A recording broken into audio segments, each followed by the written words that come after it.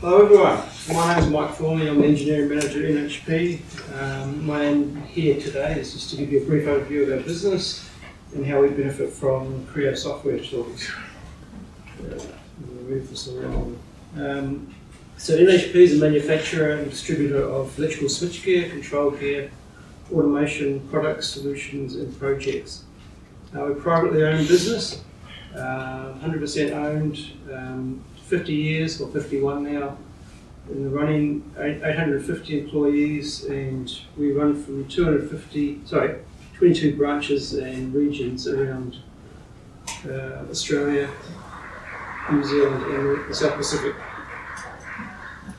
Um, we operate in most private and public uh, industrial sectors using electricity for powering control automation, and these include uh, primary produce, mining, manufacturing, utilities, construction, defence.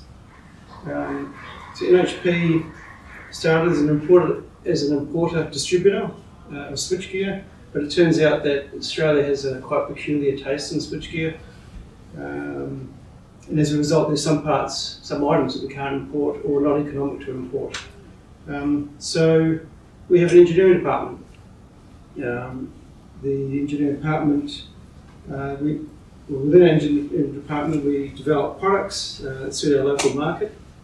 Uh, we create product solutions that without just the components. Um, we essentially, the products that we develop equate to about 25 to 30% of our offering.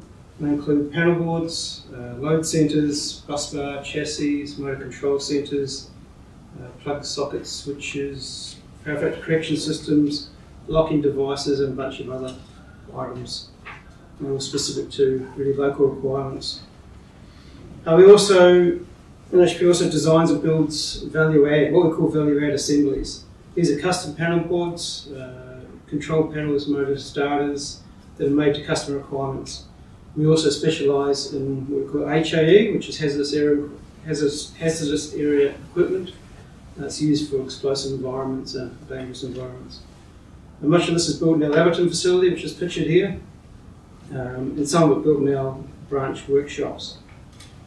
Uh, we have 15 Creo parametric licenses, um, 13 schematic licenses, 2 Illustrate and KeyShot. Um, we use Creo parametric for product design. This goes from concept design, prototyping, which we use models for 3D printing, CNC machining, sheet metal development.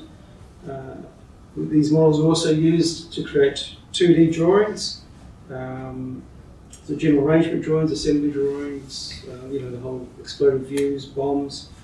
And these drawings are used now by, sub, by subcontractors and also internal manufacturers, sorry, internal manufacturing um, to produce products and to manufacture tools. We also develop fabrication jigs and check gauges there's a few basic general arrangement drawings, just skipping through some of the outputs that we create. It's a component drawing. So for custom panel boards, um, it's too, too time consuming for designers to go through and build a model, uh, drawings and of materials for every job. So we, have, we can get down to custom panel boards we're making one item per customer. Um, so we have a facilitation layer that's been written that interfaces with Creo to automate common time-consuming uh, steps. We call this the DOE, DOE, it stands for Design Office Engine.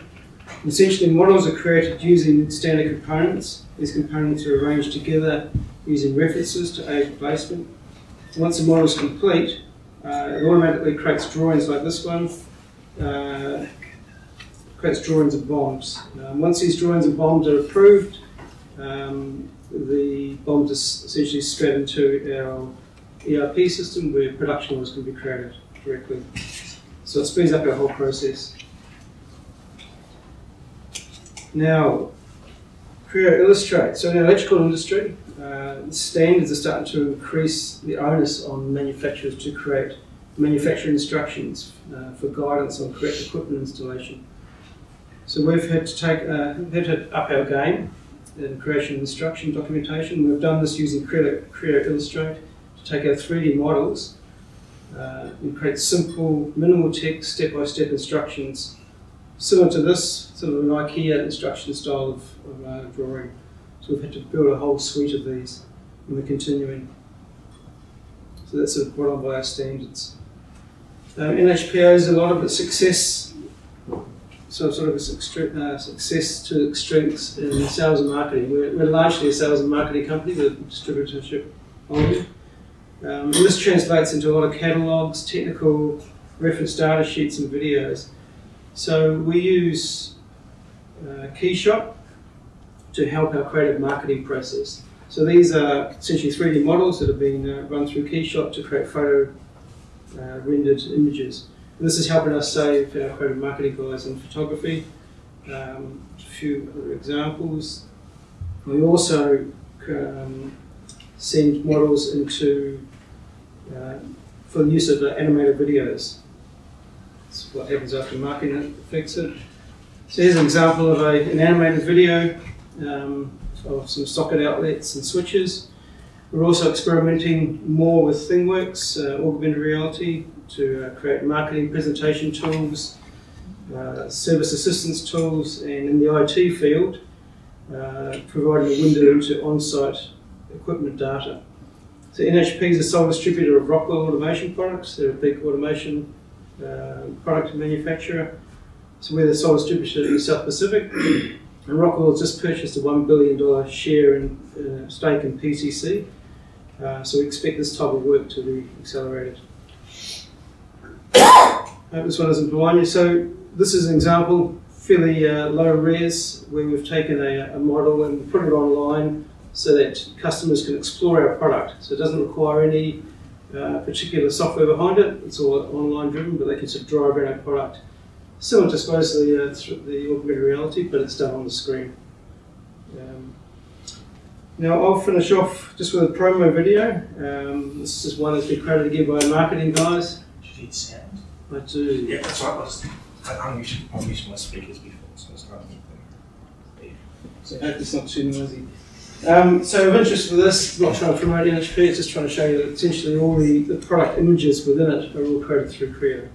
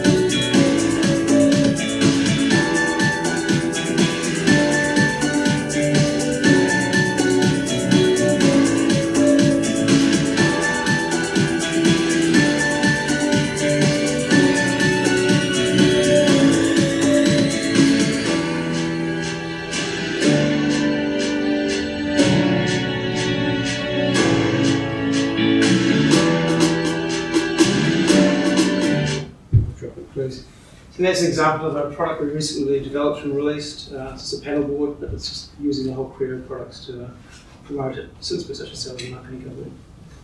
That's it for me. Any questions?